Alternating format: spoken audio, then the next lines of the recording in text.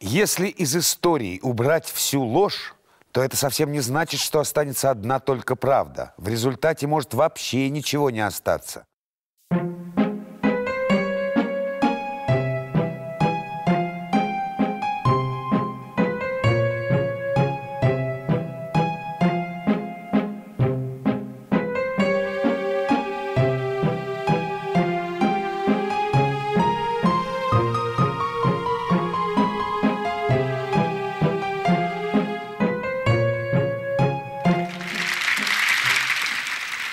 В марте 1804 года в Винсентском замке был расстрелян герцог Энгиенский. Александр послал в Париж протестующую ноту, которая была вручена российским поверенным Толерану.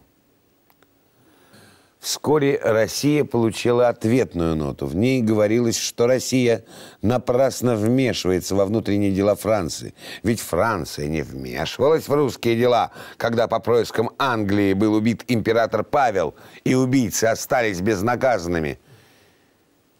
Этого страшного оскорбления Александр никогда не смог простить Наполеону. Бонапарт был прирожденным постником и трезвенником – ел мало и пил только воду с небольшим количеством красного вина.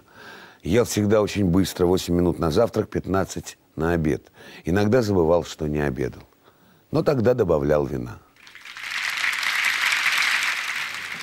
Императрица Жозефина говорила о Наполеоне так. Он слабее и чувствительнее, чем думают. Да и сам император потом вспоминал. Часто хвалили силу моего характера – но я был мокрая курица, особенно с родными. И они это отлично знали. Когда у меня проходила первая вспышка гнева, их упрямство и настойчивость всегда побеждали. Так что, в конце концов, они делали со мной все, что хотели. Мадам Деремюза говорит о Наполеоне. У Бонапарта врожденная злая природа, врожденный вкус к злу, как в больших делах, так и в малых. Кажется, всякое великодушное мужество чуждо ему. Этот человек был убийца всякой добродетели. Но это пишет о нем ранее влюбленная, а потом возненавидевшая его женщина.